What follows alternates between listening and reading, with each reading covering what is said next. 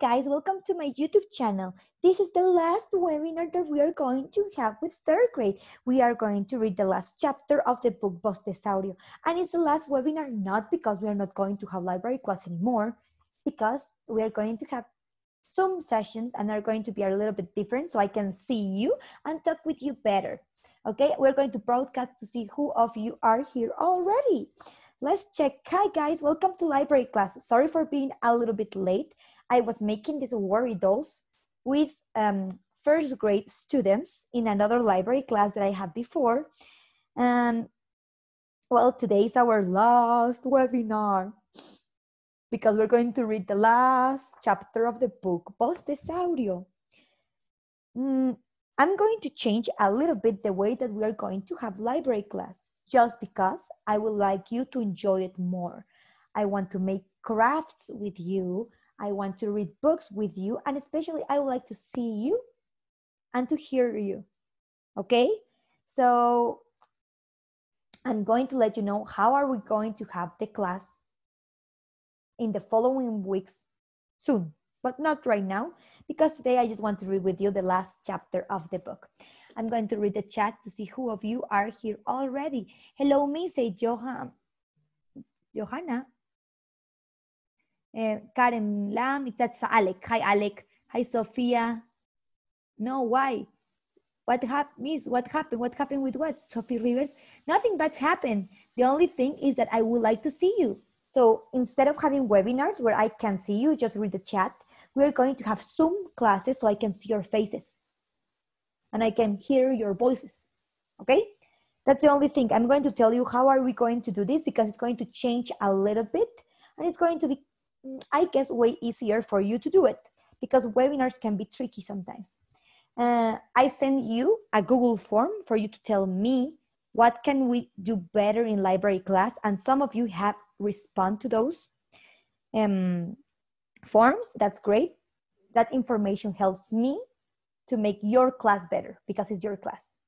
So, hi, hi Nico. Okay, remember, guys, that the chat it's for talking between us, not just say whatever you want to, because Miss Paulina, she can read everything that you are saying. I'm going to put the chat here open so you can see me better. And we're going to read the last chapter of the book Bostezaurio. Thank you for helping me reading this book. We read it together all this time. So are you ready for reading the last chapter? Tomorrow is my birthday, Maximiliano. That's great. Happy birthday to you. Okay, so who is ready for the book? Can you write yes, yes, yes, so so we can see? Oh, Miss Paulina just realized that we have more chapters.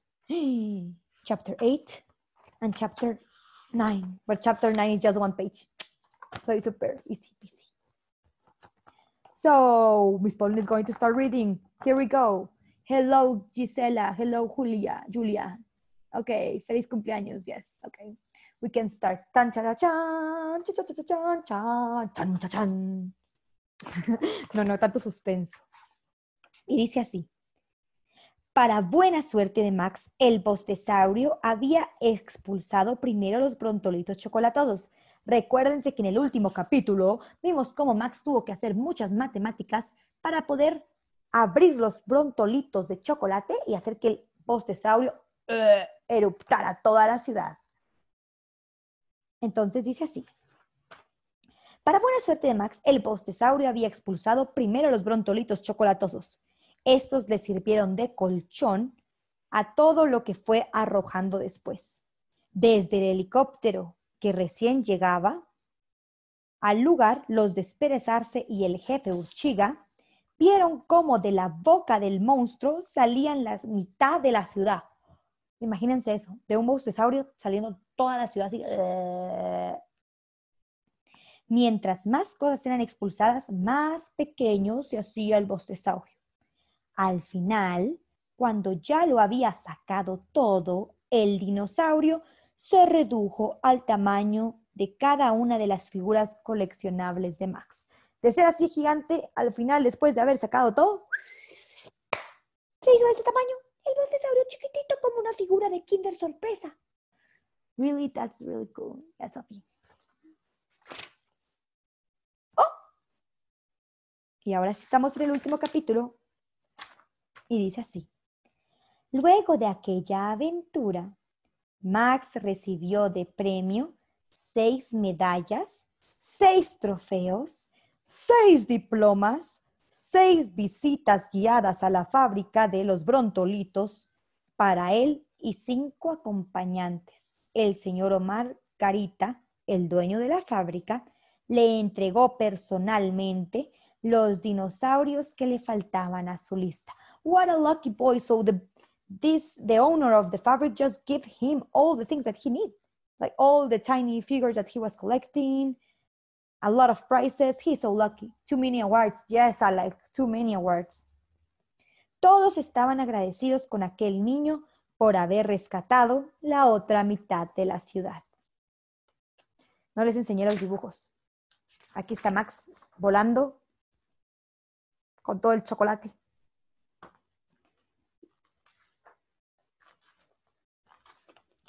Y lo mejor de todo fue que Max pudo conservar el bostesaurio. ¡Ah! Se pudo quedar con el bostesaurio chiquito, que desde ese día se convirtió en el mejor de los ejemplares de su colección.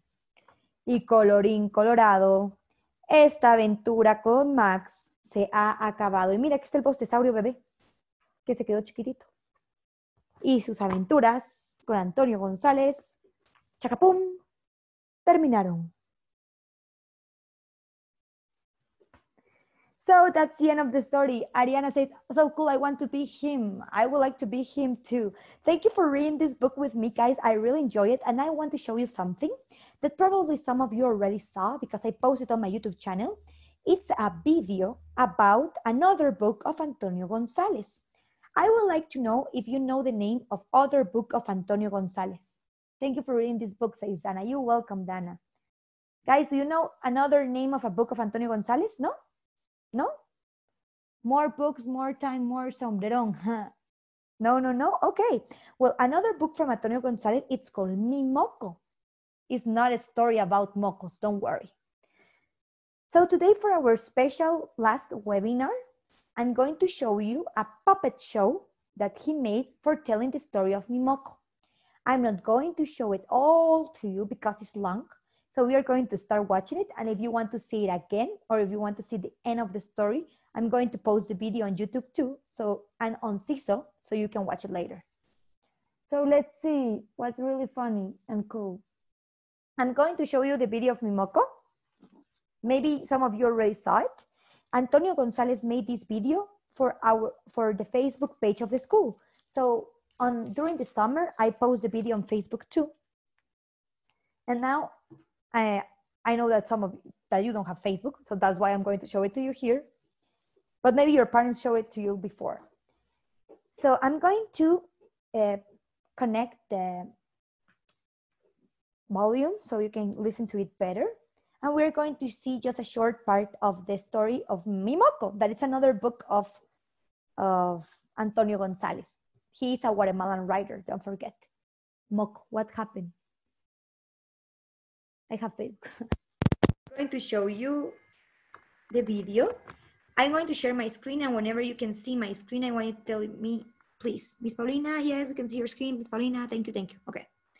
So I'm going to share it right now. Uh-oh, what is it? I can't find it. I'm going to stop recording right now.